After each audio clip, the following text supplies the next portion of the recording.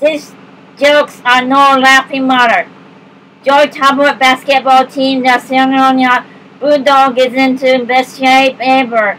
That is until someone began playing practical jokes on the player incredibly that evidence seems to point to Joe as the guilty party.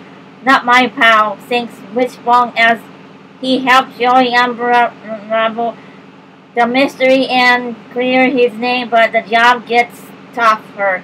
When the practical joker strikes again and Wishbone has to deal with a mysterious new dog in town. Refusing to give up Joe and Wishbone race to discover the truth before the mystery tears the team apart.